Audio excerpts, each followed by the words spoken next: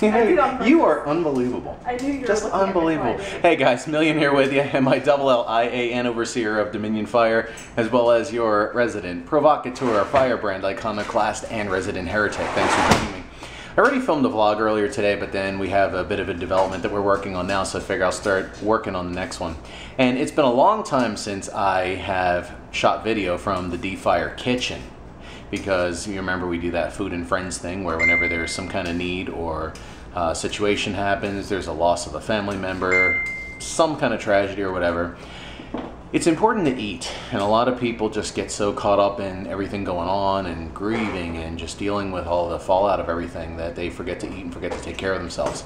So something that we do is we always provide some kind of meals when someone goes through that, and I encourage you to do the same if uh, you have that situation as well in this particular example, well, let me let me back up. In the previous videos here on the um, Dominion Fire YouTube channel, you'll see that there's a couple recipes, a couple easy things I just showed you how to make, so that if you want to do this, you can do it without a problem. It's a real easy recipe, and actually a couple of them. So, go bless somebody, yeah.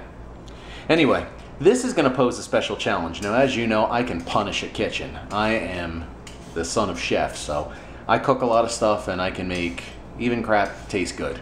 You know what I'm saying? Like, eh, it's got vegetables here. But anyway, our family that we're cooking for today has a lot of dietary restrictions, and we have to keep it as vegan as possible. Now, they're not vegan proper for like the usual reasons. A lot of it's just uh, just dietary restrictions, so they find that that's the easiest thing that helps them with what they're they're going through. So, here in my selections, look at all this. I got vegetables, mushrooms, peppers, tomatoes, got vegetable stock. Now, this goes totally against my grain, but I'm going to make this taste good. And it's going to be a wonderful, delicious, nutritious meal for them.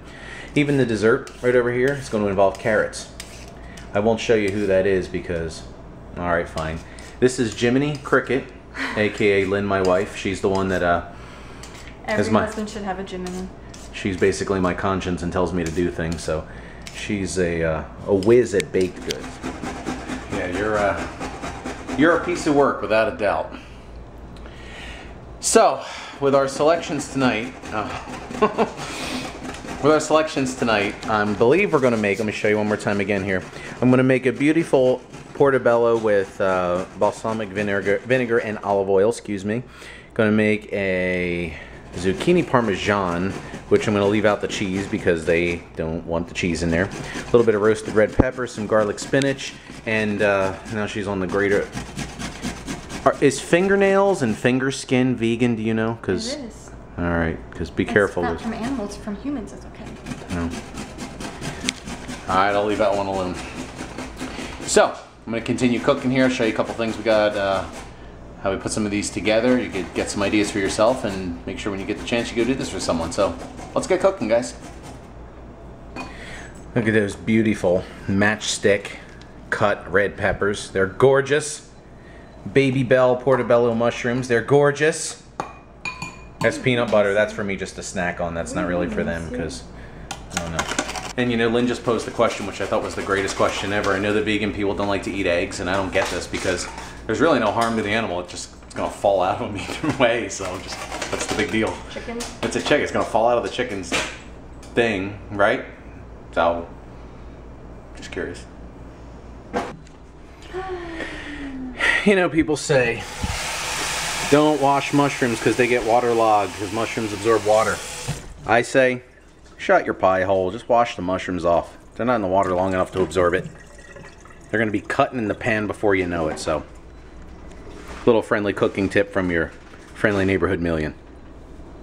So as we're cooking this, just uh, a couple things were coming to mind is that uh, this meal we're cooking for this family is, uh, is a family that's a friend of ours, and um, the uh, woman who has been working with our ministry, and she's been one of our team members, and we've gone out in the field.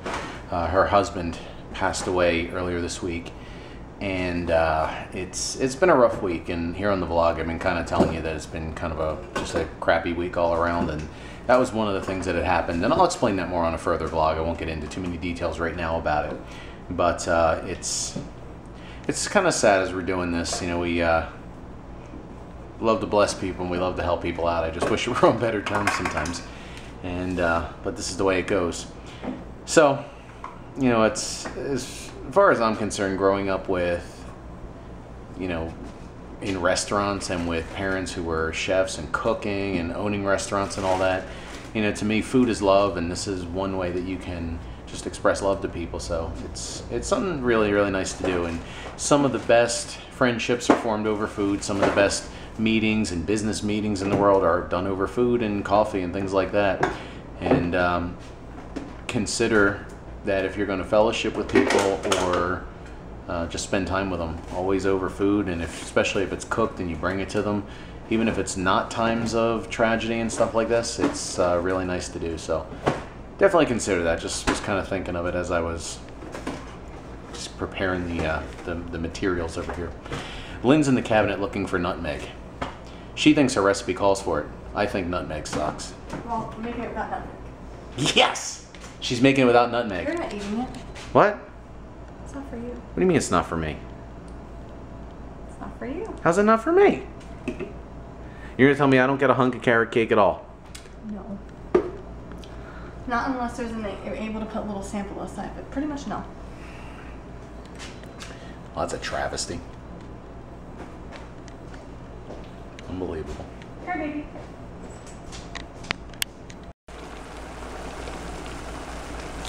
Oh yeah, that is no joke right there.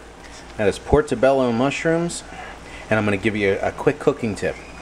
If you take portobello mushrooms and marinate them in olive oil and balsamic vinegar, salt, pepper, garlic, onion powder, season them up how you like them, they taste just like steak. You heard me correctly. Portobello mushrooms, got stewed tomatoes and zucchini, something or other. Normally that's Parmesan, but I'm leaving out the cheese, so it's not a Parmesan this time. And into the oven, the carrot cake. Oh yeah. And there it goes.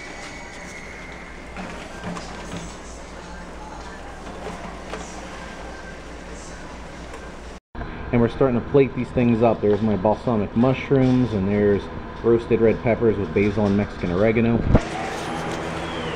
Now, it's about what 111 today here in Vegas. Now you're inside in the air conditioner. All the air conditioner does in Vegas is just take the edge off of it. It's still hot. And I got the oven over here at 350. I got four burners going. I am sweating like a Calvinist at a Grace convention. It's hot. And uh, we're gonna keep moving forward. See, when it gets hot, I get out of breath, eh? Because I'm fat, but because it's hot. You know that already. You've watched the vlog. And uh, so what we're gonna do now is plate these foods up in these uh, containers we have here. Um, normally what we'll do is we'll write either a prayer on the outside of the foil or just a little message just letting them know that we care and love about them and uh, care about them and love them I should say and uh, yeah and then we'll go deliver it and yeah just bless them a little bit Oh, and just look at that. We got balsamic mushrooms with garlic. We have roasted red peppers with basil and Mexican oregano. We have a beautiful zucchini and stewed tomato marinara. White rice with parsley and plain old white rice without it. And over here, we got spinach defrosting a little bit, and we're going to make a garlic spinach, but I'll show you that later. And then beautiful, gluten-free carrot bread. Gorgeous. I'm vegan free. we make vegan free food. Whatever that means. means stuff in there is not vegan friendly. Okay, long day of cooking up in here. It's uh, coming up on 6 o'clock. We started, I think, around like 1.30, 2 o'clock, somewhere in that ballpark. I started at 4, I'm sorry. It felt like much longer. Anyway, um, so here's what it looks like. Look at that. We got one, two, three, four, five, six, seven, eight, nine trays of stuff, including a little pick and stuff, little main course, carrot bread. Now what we do at this point is a little laying hands on this and we just say right now in Jesus name we just infuse this food with the love and power of Jesus and the Holy Spirit and that this bless the family and that this just care for them, bring them comfort, joy, peace, rest, relaxation, and hope and joy going forward. And we bless this family and we love them in Jesus' name. Amen. And that's what we do. So we have the food prepared to go. We're going to go deliver this right now. All right, so we're on the highway now. We're going to go get ready to deliver this to the family. And I wanted to do this as the vlog today, just to kind of show you what everything looks like, to just give you a sense of what's involved with preparation and just uh, some ideas that if you ever need to bless someone or someone's going through some trouble or anything and you just want to take care of them a little bit, food is always a great way to do that. It's a good way to show love and, and compassion. So it's something we enjoy doing.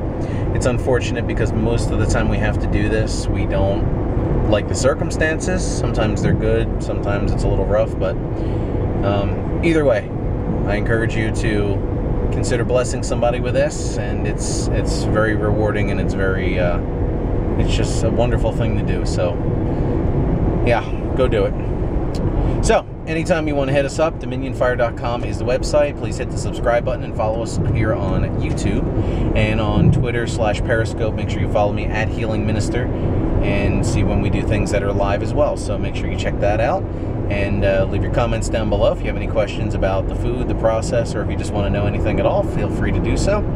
And uh, we're going to end the vlog here today and go deliver and sit with the family for a few minutes and be on our merry way. So, all right, Millian for Dominion Fire signing off. Now, go bless somebody.